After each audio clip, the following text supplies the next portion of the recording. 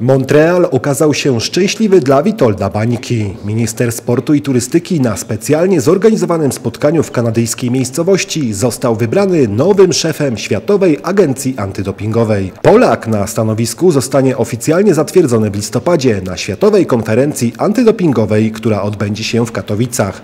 Jednym z głównych celów Bańki będzie stworzenie funduszu solidarnościowego, który miałby wspierać słabsze państwa w prowadzeniu polityki antydopingowej. Doping to jest taki współczesny nowotwór, który toczy, toczy sport. Niestety przemysł dopingowy jest bardzo innowacyjny e, i nie ma możliwości skutecznej walki z dopingiem, jeśli nie zwiększymy budżetu, jeśli za tą innowacją, źle pojmowaną oczywiście, będziemy, nie będziemy podążać i, i stąd też e, decyzja o zwiększeniu budżetu. Ja w zeszłym roku byłem koordynatorem takiego procesu negocjacyjnego e, pomiędzy rządami a ruchem olimpijskim.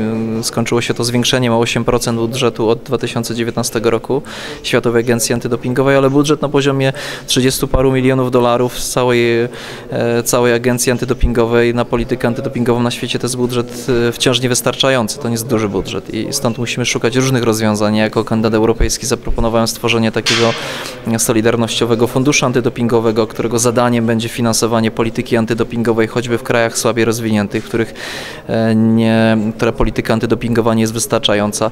Proszę sobie wyobrazić, że około 10% medalistów z Igrzysk Olimpijskich z Rio E, pochodziło z krajów, które miały albo nie miały narodowych agencji antydopingowych, albo bardzo słabą politykę antydopingową i to nie jest środowisko fair dla sportowców. Witold Bańka od początku zapowiadał, że jeśli uda mu się zostać szefem WADA, zrezygnuje z funkcji ministra sportu i turystyki. Środowisko sportowe mówi jednym głosem. To był najmocniejszy z kandydatów na to stanowisko, ale jednocześnie tracimy jednego z najlepszych ministrów sportu od lat. E, pan minister Bańka na, e, rozpoczynając swoją misję jako minister sportu w Polsce podkreślał od początku, jak ważna jest walka z dopingiem, czystość w sporcie, e, że jest to problem, który w tej chwili naprawdę zjada w niektórych miejscach ten sport, e, więc on był bardzo wyrazistą postacią. On pokazał, że chce z tym walczyć. Polska była pokazywana rzeczywiście jako wzór, jeśli chodzi o wprowadzenie pewnych regulacji e, legislacyjnych, bo w nowej ustawie o sporcie właśnie te zapisy są bardzo mocno artykułowane, więc nie jestem zaskoczony, natomiast powiem w ten sposób, trochę szkoda, dlatego że w moim,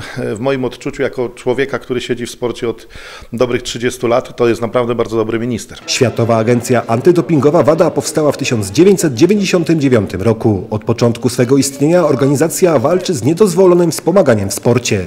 Bańka w strukturach WADA jako członek Komitetu Wykonawczego działa od 2017 roku.